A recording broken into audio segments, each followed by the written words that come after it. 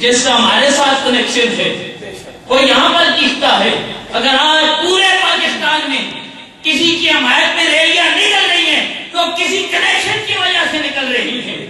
हर member से हर चौक से हर मल्ले से हर शहर से गाजी मुमताज़ की हमारे की आवाजों ये तो एक कनेक्शन ताल्लुक है। आज दूसरी तरफ़ भी देख लो कहाँ कहाँ से कनेक्शन निकल रहा है। कभी तो वो पॉप बयान देता है, जिसके साथ ताल्लुक था। कभी अमेरिका से वो बदबत पास्त्री आवाज़ देता है, जिसके साथ ताल्लुक था। तो मैं कर रहा था। वो मदीना तैयबा को छोड़कर मक्का चला गया। और वहाँ पर जिस खानदान के घर में मेहमान बन के रहता ना, अल्लाह अकबर तो साहबा का मामूल क्या था? हज़रत हसान बिन साबित रज़ी अल्लाह तु क्या मिशन लेकर चले हुए थे? कि वो वहाँ पर जाकर रसूल्ला के खिलाफ बात करता। तो आपका ये मिशन था, आप सिर्फ़ उसकी मुलम्मत नहीं करते थे, बल्कि जो खानदान उसकी हमायत में निकलता था, जो उसकी हमायत में आवाज़ बुलंद करता था, आप उसके साथ उनकी भी मुलम्मत किया करते थे। आज हमारा मिशन भी यही है कि जो गुस्ताख तैयार है, वो दीन का गद्दार है। क्या आप सबका यही मिशन है जो भी गुस्ताख तैयार है वो दीन का गद्दार है और का गद्दार है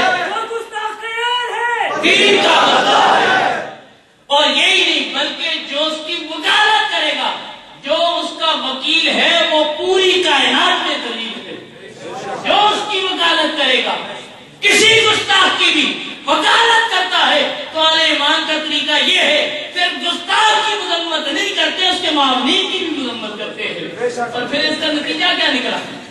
ये भी सुनो। एक खानदान में गया। उन्होंने मेहमान नवाजी की। हज़रत हसान ने जब अशार बयान किए ना तो बदबक उसकी हमारे से बात गए हम इसकी मेहमान नवाजी नहीं करते। इसको घर से निकाल दो क्योंकि हमारी भी मजम्मत हो रही है।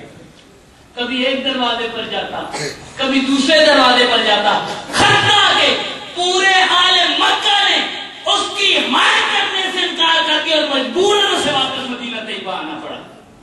आज अगर हम उन गुस्ताखों के साथ, इन लोगों की भी मजम्मत करेंगे तो न सिर्फ़ ये कि वो मजबूर होंगे, बल्कि ऐसे लोगों को भी सर उठाने का मौका नहीं मिलेगा। तो दोस्तान ग्रामी वो बदबक जब वापस मदीना तैयबा आया ना तो रसूलुल्लाह सल्लल्लाहु अलैहि वसल्लम ने साहबा की मजलिस में फरमाया अरे सुनो साहबा और काब बिन अशरफ ने मुझे अजियत दी है मुझे तकलीफ़ दी है मेरा दिल दुखाया है तुम में से कौन ऐसा ईमान वाला है जो जाकर उन बदबख्त का काम तमाम कर दे अल्लाह अकबर एक अंसारी खड़े हो गए और अर्ज़ की या सुल्ला मैं हाजिर खिदमत हूँ अतहिब्बु अन तक्तुलहु कि आपकी मंशा मुराद ये है कि उस बदबख्त का सरकलम कर दिया जाए रसूल ने फरमाया हाँ गुस्ताखों की सजा यही है सादी रात के देरे में गए और जाकर उस बदबख्त का सर कलम कर दिया। बुखारी शरीफ की रिवायत है। और सुबह आकर साहबा की मजलिस में रसूलुल्लाह सल्लल्लाहु अलैहि वसल्लम की बारगाह में आकर बयान किया रसूलुल्लाह मैंने आपके हुक्म के मुताबिक तामील कर दी है। यही नहीं, जब कत्ल हुआ ना तो उसके मावनी को तकलीफ़ हुई। और आगे बारगाह मुस्तफ़ा भी। और आकर कहने लगे, क्या आपके एक सहाबी ने, दोस्त ने खादिम ने हमारे सरदार को कत्ल कर दिया है? अल्लाह के अल्फाज सुन जब आपने ये सुना कि उसके मामले उठकर आ गए, आपने फरमाया, ओ बदबख्तो सुनो, अगर कोई शख्स भी हमारी हिजो बयान करता है, अपने शहर के ज़रिए हमारे तकलीफ़ देता है मुसलमानों की दिल आज़ादी करता है। अरे सुन लो, ऐसे हर शख्स के लिए मुसलमानों की तलवारें तैयार रखी जो भी हमारी दिल आज़ादी करेगा, हमारी हिजो बयान करेगा, उसके लिए हमारे पास तलवारें मौजूद हैं।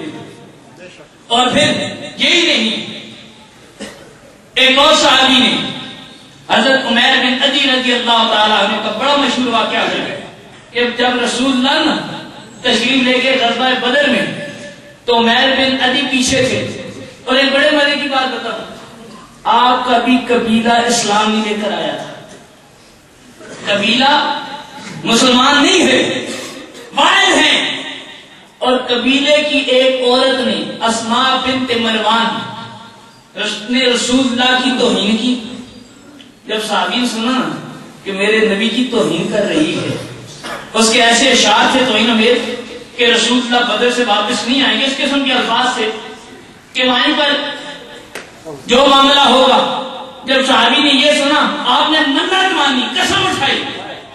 अल्लाह मेरे अल्लाह, मैं ये नज़र मानता हूँ लो रदत्ता अगर तूने महबूब मुस्तफ़ा को वापस लौटा दिया तो मैं कसम उठाकर कहता हूँ इस पर का सर कलम कर दूँगा और जब रसूल्ला वापस आए ना रात को साबी अपनी कसम पूरी करने उठ खड़े और जाकर उसके घर पहुँचे।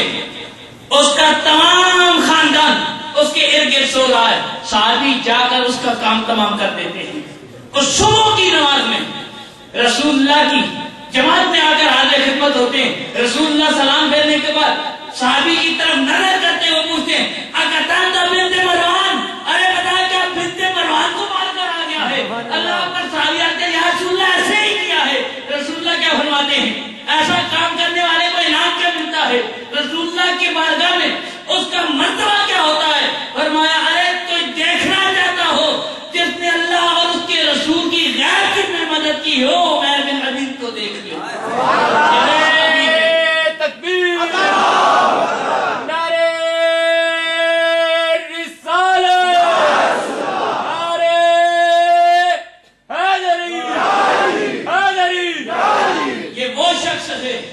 कि मैं सामने मौजूद नहीं था फिर भी इसने मेरी मदद की है और ये बड़ी मोहब्बत का मामला है बड़ी मोहब्बत वाला काम किया है और फिर यही नहीं उसके इस मोहब्बत अल्फेल को देखकर ना हज़रत उमर रज़ी अल्लाह आप वहाँ पर मौजूद थे।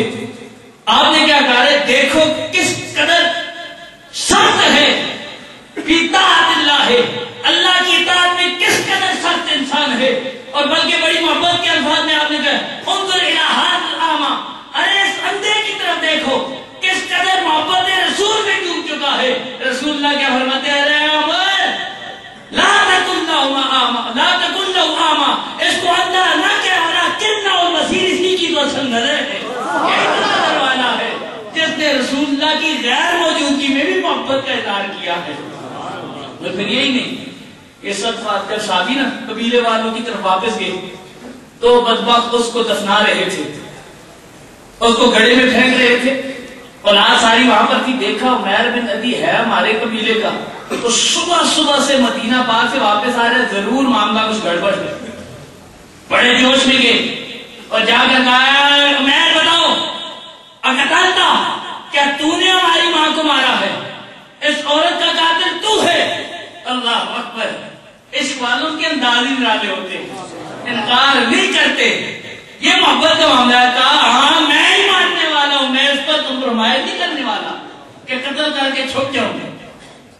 कातिल, ऐसी बदबक औरत का कातिल बनकर तो इन सालत की जो मर्तकब हो उसका कातिल बनकर मैं कर दू नहीं।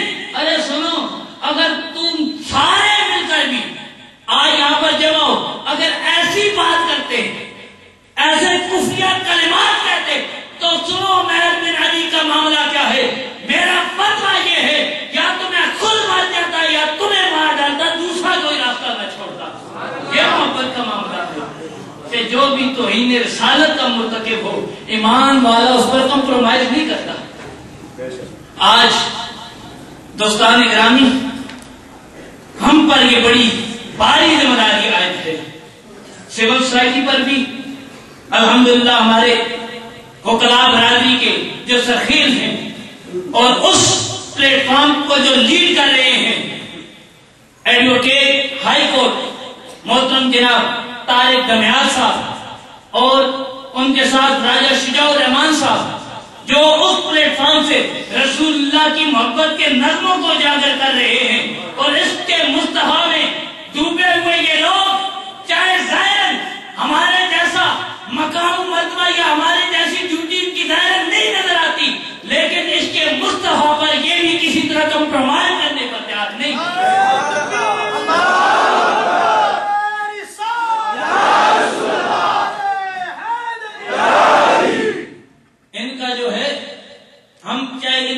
रसूल को पहले इतनी अहमियत नहीं देते थे लेकिन जो भी रसूलुल्लाह के मामले पर गैरत का इजहार करता है वो हमारे सर आँखों पर चाहे वो पुलिस का फर्द हो वकीलों में से हो चाहे गवर्नमेंट वाला हो जो भी गैरत मुस्तफ़ा पर आगे निकलेगा उसे हम अपना कायद मानने पर तैयार हैं। तो दोस्तानी ग्राम मैं कह रहा था ये पोप ने या तो मैं ये समझता हूँ, बिल्कुल जाय अजड़ किस्म का शख्स है। उर्दू में कहा जाता है, पहले तोड़, फिर बोल। थिंक बिफोर यू लीव के छलांग लगाने से पहले सोचो, अगर बदबक, अगर तुम्हारे अंदर अकल की कमी थी तो किसी से पूछ लेते कि मैं कहा में छलांग लगा रहा हूँ।